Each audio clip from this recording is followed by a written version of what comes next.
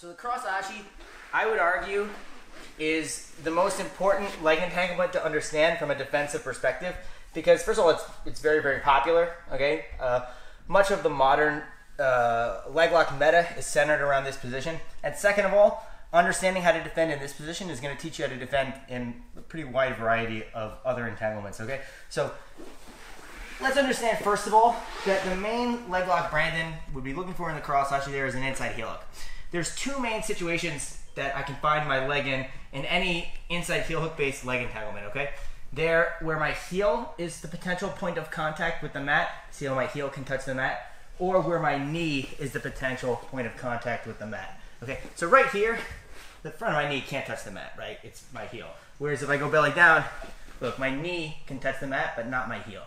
So this simple rule tells us what we should be doing with our leg, our primary leg, inside the cross ashi. If my heel is the potential point of contact with the mat, I want to turn my leg like so. Okay? Whereas if I'm belly down, obviously I can't do that anymore because now my knee touches the mat, so I've got to extend my leg. So what we find in the cross ashi, so Brandon, put me inside the position here. What we find is, as I'm here, what's going to happen is, uh, go, go, real slow so everybody can see.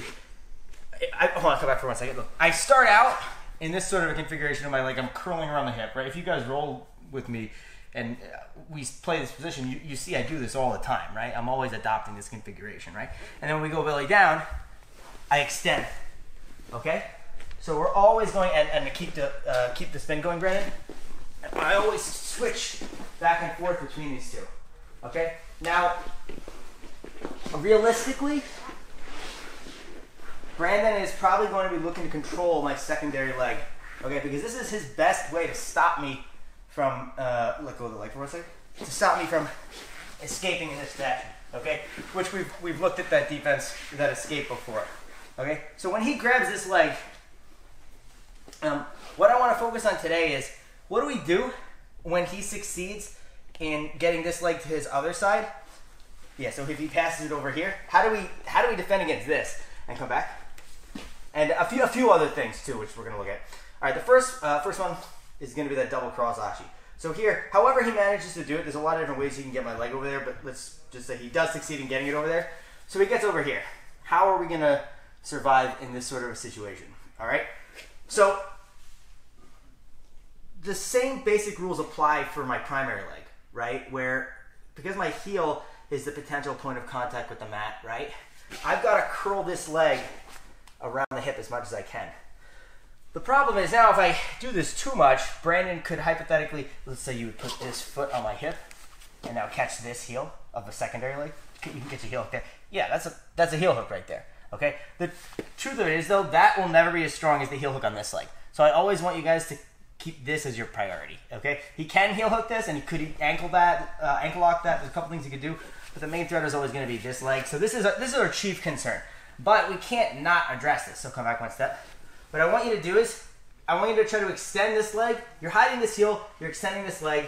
If you ever feel too threatened on the primary leg, you can overcompensate a little bit and use your hands to defend. Your hands can defend this leg. Okay? Ultimately, what your goal is, is I want to uh, grip here at the bicep, pull the foot out, and start going into our basic cross ashi escape. Okay? So again, he's got me in a double cross ashi. He passes off to the other side. Our basic cross ashi defensive rules apply. Because my heel is the potential point of contact with the mat, I've got to curl around the hip. Okay, now I can't not address this. I've got, but because the truth is, it's hard for him to keep my body away from him, right? I can come forward pretty easily. If he like flares his knee, it doesn't really do too much to keep me away from him, right? He compresses this down, even even less so, right? But realistically, he can't keep me from coming forward to hand fight. So as he goes to heel hook that leg, I can hand fight. I can pull this out pretty easily. Okay. Another thing I want us to work on now, uh, catch the leg, is as he even just goes to make the pass off, go really slow. As he goes to make the pass off, come back one step. As he goes to make the pass off, and stop right here. There's gonna come a point where my uh, come a little bit more. My toes come out. I want to push on the shoulder and bicep and free that leg. Okay. All right, let's go back. So as he goes to make that pass off, there's gonna come a situation where my toes can come out. I can push and hide my heel and look to escape. All right. Make sense, guys?